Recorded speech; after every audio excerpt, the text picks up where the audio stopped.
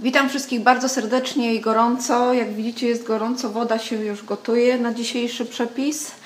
E, W dniu dzisiejszym e, pokażę Wam jak zrobić bardzo pyszne jajka, które można wykorzystać do ramenu lub do innych potraw. E, Potrzebujemy oczywiście jaja, które będziemy umieszczać w gotującej wodzie. Wodę trzeba obficie posolić, żeby zapobiec temu, żeby jaja nam pękały. Więc miejmy nadzieję, że to zadziała też tym razem.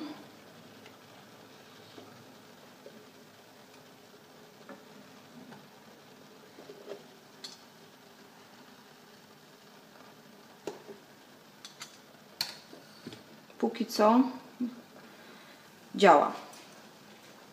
Jaja będziemy gotować przez 6 minut i potem będziemy studzić w wodzie z lodem. Jaja się już ugotowały. Umieściłam je w misce z lodem, zimna woda z lodem. I teraz te jaja będą się studzić około 10 minut. W czasie, gdy jaja się studzą w wodzie z lodem, przygotujemy sos, w którym będziemy marynować później jaja. Tutaj mam przygotowane 200 ml wody, dwie łyżki miodu, można użyć też syropu kukurydzianego, 3 ząbki zmiażdżone czosnku, 4 cm zmiażdżonego korzenia imbiru, 50 ml sosu sojowego i dwie duże łyżki sosu ostrygowego. Te wszystkie składniki należy teraz razem doprowadzić do wrzenia, gotować przez jakieś 5 minut. Następnie trzeba przecedzić płyn przez sito i zostawić do ostygnięcia. Sos już ugotowany, teraz trzeba go odcedzić.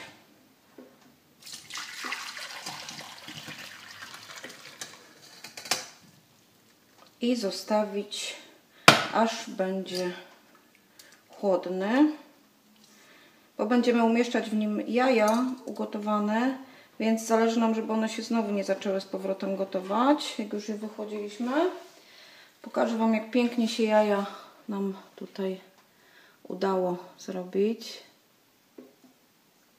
Idealnie, mięciutkie w środku. Pokażę jeszcze na jednym. To jest właściwie idealny efekt. Można już takie jaja wykorzystać do ramenu, po prostu przekroić na pół albo włożyć w całości, ale mnie zależy, żeby one uzyskały troszeczkę inny smak i aromat.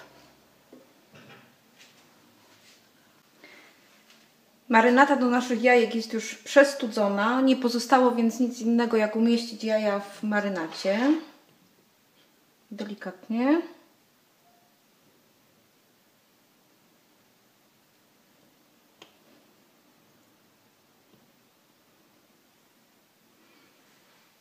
Porcja tej marynaty jest idealna, dlatego że bardzo ważne jest, żeby całość jaj była pokryta równo marynatą. Przykrywamy i odstawiamy na minimum 5 godzin. Najlepiej na 24 godziny do lodówki. Także do zobaczenia za jakiś czas. Minęło 5 godzin. Jajka po tym czasie wyglądają ten sposób. Teraz je odłożę tutaj na serwetkę, żeby troszeczkę odsączyć. I nadal są mięciutkie. I przekroimy, zobaczymy jak się w środku prezentują.